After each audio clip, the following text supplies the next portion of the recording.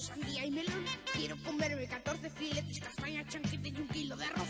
Quiero comerme fabada, natillas, lentejas, tortillas, salchichas con pan. Quiero comer chocolate y bizcochos, pasteles borrachos de Boston Monflan. Quiero comer chocolate y bizcochos, pasteles borrachos de Boston.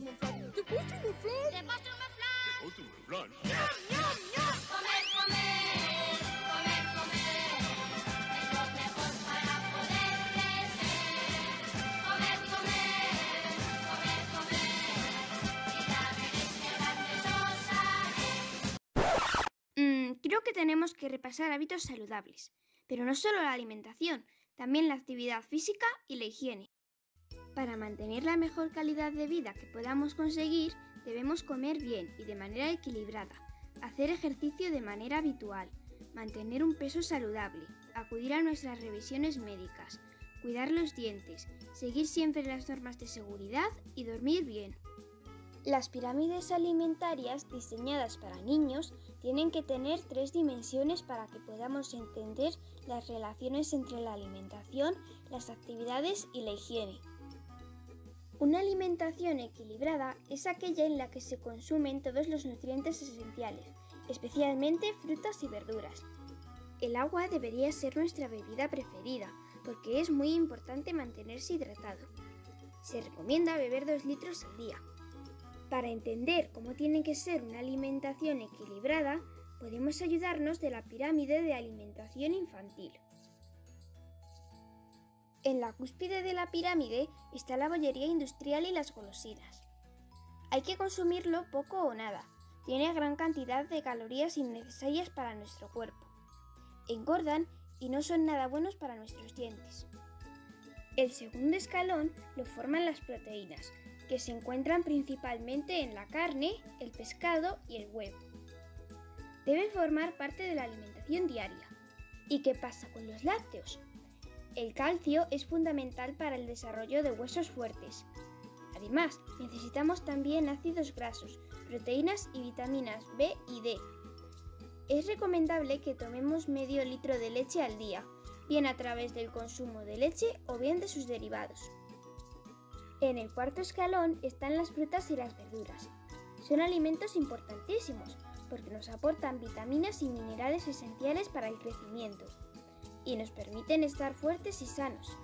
Hay que comer al menos 5 raciones de fruta y de verduras al día. En la base de la pirámide están los hidratos de carbono, los cereales, el pan, la pasta, los arroces o las patatas. Deben consumirse diariamente porque son nuestro combustible.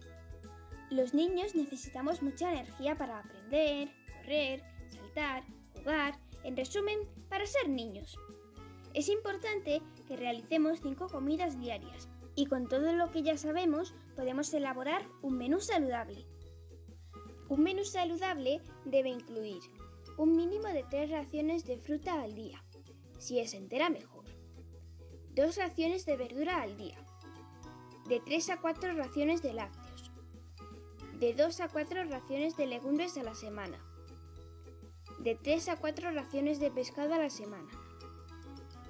Pasta, arroz y cereales sin azúcar. Mejor carnes magras frente a las carnes rojas. Unos 4 huevos a la semana. Y frutos secos. Otra de las caras de la pirámide se refiere a la actividad física.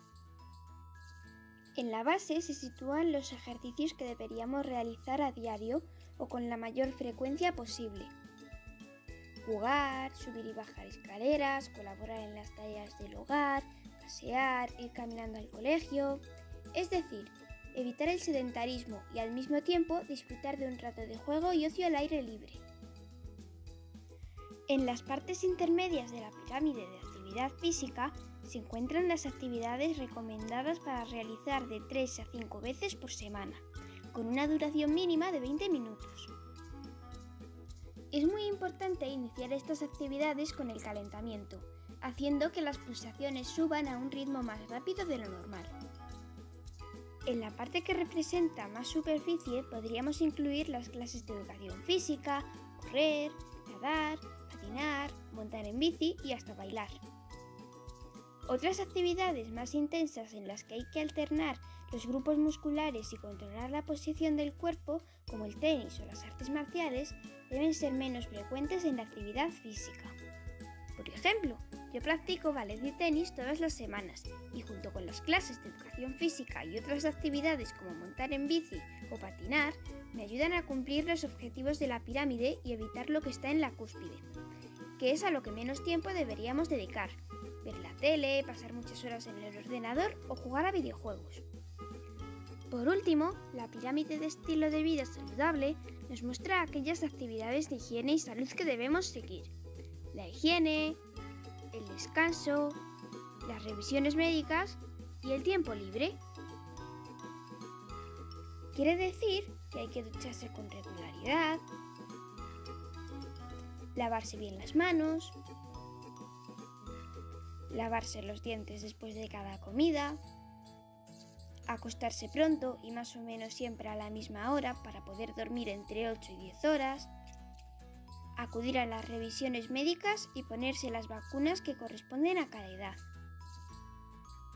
El tiempo de ocio o tiempo libre es el que queda después de hacer todas las actividades del día. Aprovechar de manera adecuada el tiempo libre ayuda a sentirse mejor física y mentalmente. Investigando para este trabajo, he aprendido que los alimentos no son buenos ni malos. Todos pueden consumirse en su justa medida. Debemos mantenernos activos y seguir unos hábitos de higiene y descanso adecuados. Así viviremos más sanos y felices.